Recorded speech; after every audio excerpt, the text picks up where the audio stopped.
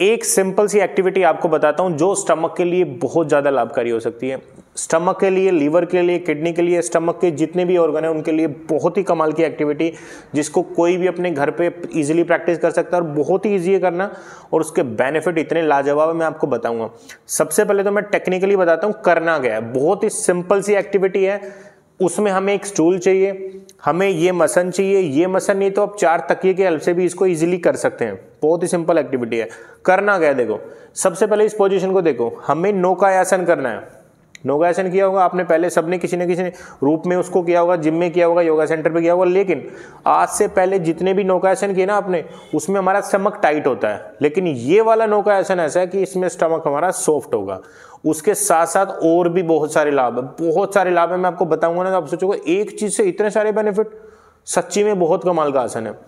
देखो, सबसे पहले पूरे पैरों का ब्लड सर्कुलेशन यहाँ इंक्रीज हो रहा है।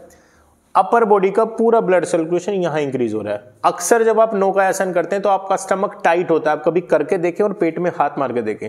इस वाले आसन में पेट बिल्कुल सॉफ्ट होगा। इतना सॉफ्ट जैसे गुंदा हुआ आटा होता है ना, उसमें अपन उंगली मारते हैं, इतना सॉफ्ट हो जाएगा। आंतों को अगर बढ़िया रखना है ना तो उसको टाइट नहीं करना उसको सॉफ्ट रखना है, उसको रिलैक्स करना है, उसको ब्लड सर्कुलेशन देना है। तो ये एक्टिविटी हमारे स्टमक रोगों के लिए बहुत कमाल की हो सकती है। कॉन्स्टिपेशन वालों के लिए रामबाण। डायबिटीज़ वालों के लिए रामबाण। कैसे?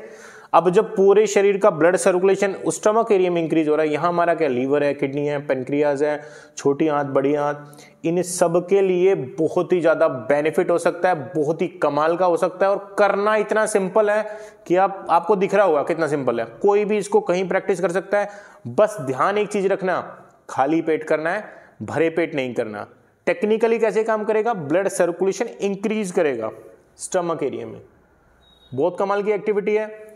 इतनी सिंपल एक्टिविटी है, इतनी कमाल की एक्टिविटी है जिसको कोई भी प्रैक्टिस कर सकता है, कोई बच्चा भी प्रैक्टिस कर सकता है, बड़ा भी प्रैक्टिस कर सकता है। खास तौर से जो बुज़ुर्ग लोग हैं ना, वो बहुत कुछ उनके पास करने के लिए नहीं होते। वो नौकायासन नॉर्मल वाले तो कर नहीं सकते। स्टमक के लिए बहुत सारी कुछ चीज़ें कर नहीं सकते। ये वाली एक्टिविटी इजीली कर सकते हैं। डबल बैठ के, ऊपर बैठ के कर लो। कहीं जहाँ कंफर्टेबल है, वहाँ कर लो। और एक्टिविटी ताकत तो लगानी नहीं, लेटना है। लेटने भर से इतने बेनिफिट ट्राई ज़रूर करना। इस वीडियो को इतना शेयर कर दो, इतना शेयर कर दो, इतना शेयर कर दो कि जिनको भी लगता है ना भाई स्टमक में कोई ना कोई इशू है, ये वाली एक्टिविटी प्रैक्टिस करें और लाभ पा सकें। बहुत बहुत धन्यवाद। मुस्कुराते रहो।